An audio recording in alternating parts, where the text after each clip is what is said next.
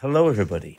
Today's guest, well, he joins a list of Michael Sheen, Matthew Rhys, Rhys Ifans, Ruth Jones in my list of Welsh greats that I've interviewed because it is a man who I think the others would admit is, is, is a little more heroic.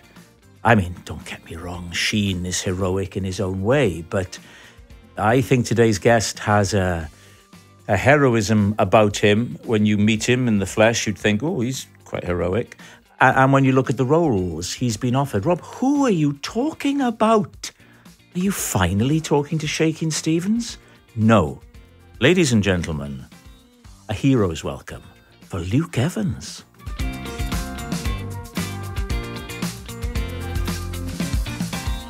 Hello, Mr. Brydon. Mr. Evans, is it hot where you are? It is warm, yeah, because it's it's Ibiza. Oh, you're in Ibiza. Oh, you. Yeah, I have a house animal. here. You Oh, have no. a house here. Oh my word, Luke, you've changed. You've changed. changed. How can a boy from Aber Aberbargoed have a house in Ibiza?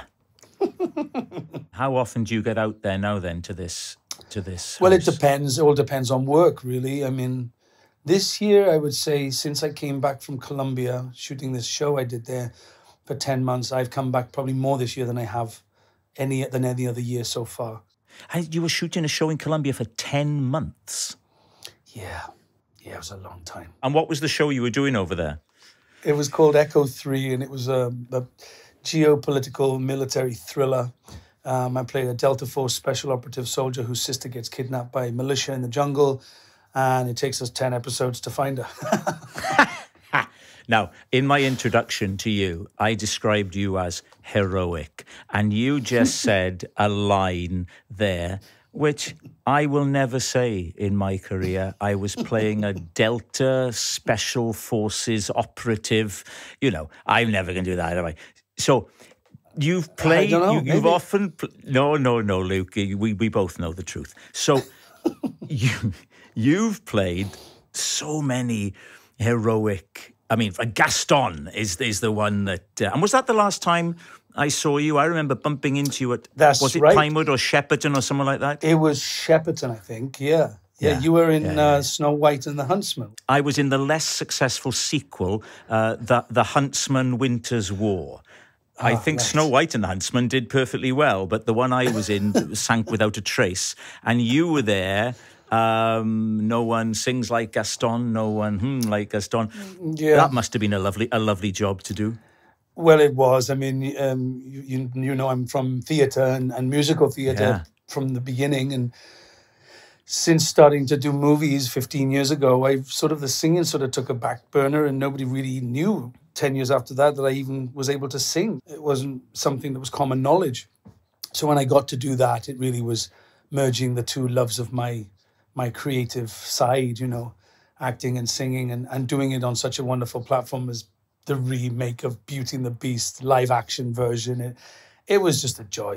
Every single detail that they put into that was, it was just, it had been so well thought out. It, it honored the original, the animation, even the the town center, uh, the town, you know, with the, with the fountain in the middle. It was built to replicate the animation, which is, you know, Yeah. only Disney would Yeah. do something that specific. But yeah, it was, it was, it was a lovely job. Now then, um, you said that when you did when you did Gaston, uh, people didn't know about your your background with, with singing. Uh, primarily, the reason you're here with me today is to talk about the new record, which we will come on to.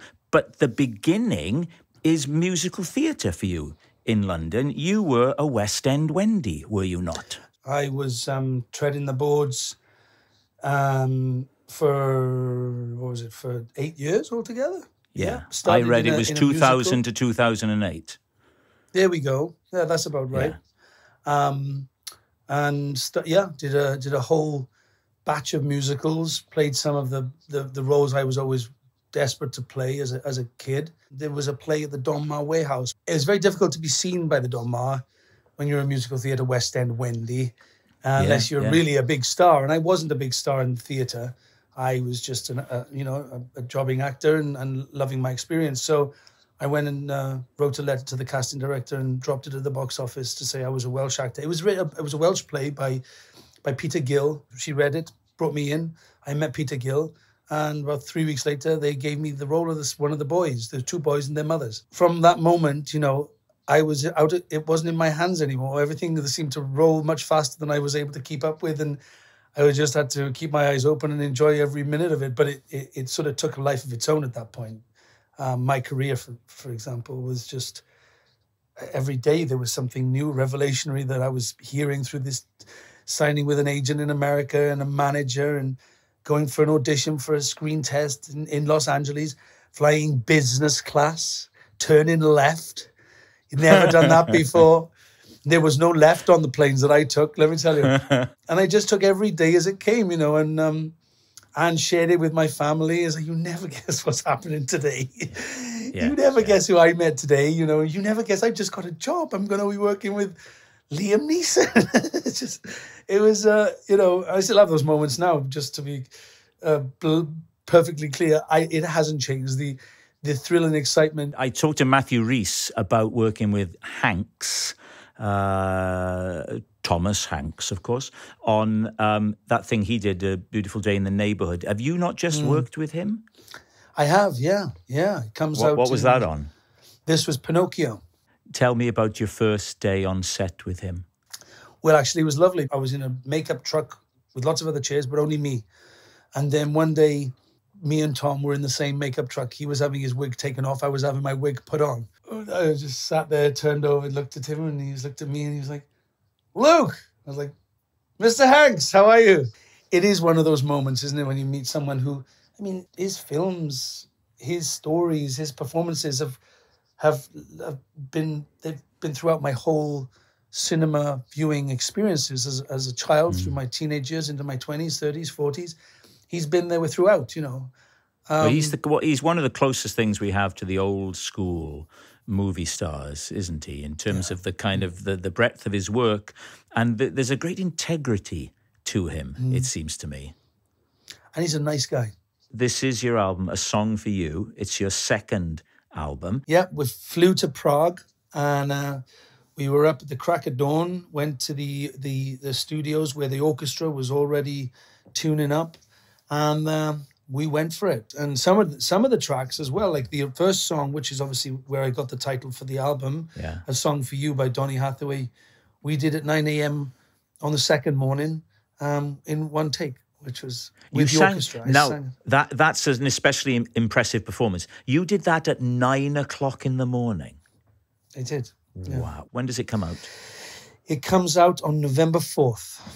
Okay, so the day before Bonfire Day, what better way to celebrate? Okay, go get get hold get hold of Luke's record. Uh, record. Listen to me. Get hold of no, Luke's. It is a record. it is. Well, it is a record. He's got a tape cassette coming out. so what we share is a country, Wales, and it's where we both grew up. Aberbargoed. Is that where you're from? That is exactly where I'm from. Yes mouth of the River Bargoed. the mouth of the River Bargoed. Tell me about your childhood there. That's it's in the Welsh valleys for people who are unfamiliar. It's in the Welsh valleys, and I was brought up in a little village. Was primarily a mining village, so I lived in a miner's house. I was brought up as a Jehovah's Witness. I was an only child. My dad's a bricklayer. My mother was a housewife and cleaner, and um, We'd go to church twice a week. Didn't enjoy school. I was bullied very, very badly, partly because I was Jehovah's Witness. Uh, I mean, uh, we had just an arrow pointing to the top of my head, you know, like, bully this one. He, he won't fight back. They were right. I, didn't. Uh, and I also didn't have any brothers and sisters. I didn't have any sort of defense mechanisms. I didn't need them because I was I came from a very warm, loving family. But you know, kids can be horrible, you know, and I think I was just a target. And how long did that continue for? How long did the did the bullying go on for? Till I left school. Oh God. From the age of maybe like six or seven through to I left sixteen. No, yeah. that's awful. Horrendous. Oh yeah, it was horrible, horrible. And how, what does that? I what would, mark has that made on you now? Then how has that informed your hmm. character mm, now? Well, I made a decision very early on to be very pragmatic about it. I was like, this is only a window in my life. I just got to get through it. I also knew that I was gay and that I had to deal with that. And, and I was like, all right, like, what's the plan? And so I knew that the plan was I can legally leave school at 16. I've just got to get to 16, do my GCSEs, and then get out and get a job and start your life. And that's basically what I did. I did my final GCSE, ran out of those gates, and I went and got a job in River Island footwear department, and uh, paid for my own first first paid my first singing lesson at 16. One day they'll make a film about your life, won't they? This is crying out for the big screen. I have thought about writing it because I do think it is is slightly Billy Elliot esque in a way, you know, in a, you know, he's from a working yeah. class, but there is a different side to this story, and the, you know, and also just the fact that it did affect me. Of course, it did, but I knew that it wasn't forever. Yeah. Which a lot of kids, when they're bullied, they can't see the wood for the trees. They're just in a haze of darkness, and it's very hard to to think this cloud's going to move at some point. And um, I've used my voice as an adult to talk about it, especially because you know you see, you see me, Owen Shaw from Fast and the Furious, Dracula, you know Gaston, you know Delta Force Special Operative, like you know, look hard as nails, looks hard as nails, and he was bullied for his whole childhood, and but he came out of it. You know, you yeah. can, and you just gotta you just gotta be able to look a little further ahead than you're able to reach and touch at the time. And it's hard as a, a kid to do that. And I didn't really. Oh, it's incredibly hard. Yeah, it's amazing. I mean, I'm amazed when you that you had that foresight. But knowing that at some point my life will take another turn, but it'll be I'll control that. You know, by 17 I was in London. I won a scholarship. You know, and that I was in London at 17. The bright lights, you know, the underground, Leicester Square, Piccadilly Circus and a scholarship to go to musical theatre college, which, you know, for the first year I thought I, I mean, I thought I knew I was gay. I didn't realize what gay meant until I went to this college. And you saw, then I saw West End Wendy's.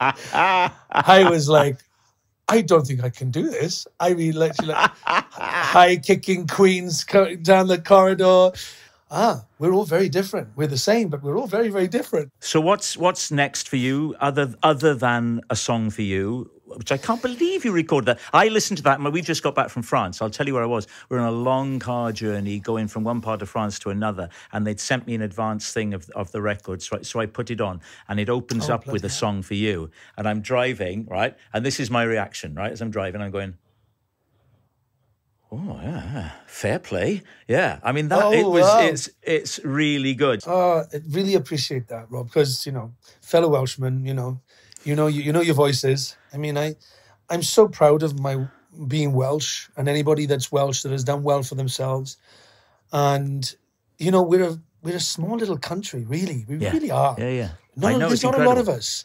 I know and it's you think what we have produced from mm-hmm. sportsmen and women. Yeah and people to to creative people to the to the industry of the movies music i mean it just it's spewing with talent and new talent coming up through the through the ranks and it's just Thank a joy to to say Thank you yes, very much.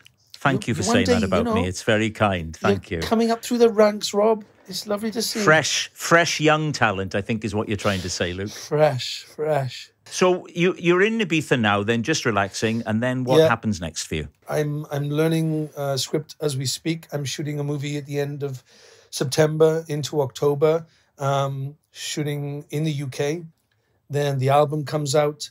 Then I'm doing another w- another movie, which I'd love to talk to you about, but I can't because it's not been announced. But it's going to be a very, it's very, very, very exciting for me to be in this role.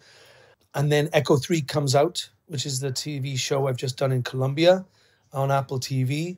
And then Scrooge comes out mid November or sometime. Some I'm not exactly sure when it is on Netflix. I'm the voice of the animation of Scrooge with uh, Jonathan Pryce, Olivia Colman, um, Fra Fee, an amazing cast of brilliant Jessie Buckley. And then I'm doing another movie at the end of, end of November into December, um, while still trying to promote and do everything else. And then probably uh, straight to a, a, a retreat clinic where I might sleep for three weeks. yes, and then some colonic irrigation and a, a transfusion of new blood, and we'll yes. see what next year brings. Luke, it's been a real pleasure. This is the most time we've ever spent together. I'd love to see you, um, you know, n- not like this. Yes, less pixelated. Yes. Less. yes, not as many pixels. A real pleasure. Um, it, it, yes, the album is wonderful. It. I wish you every success with it, and um, keep on doing what you're doing and, and waving the flag for Wales. You too and waving it for you too as well, not just their early work, some of the later albums that didn't work. He's made a joke about U2. I don't believe it. This guy's meant to be funny. He's meant to be did a joke about U2. Did you hear that? Let's end it now. Goodbye. Goodbye.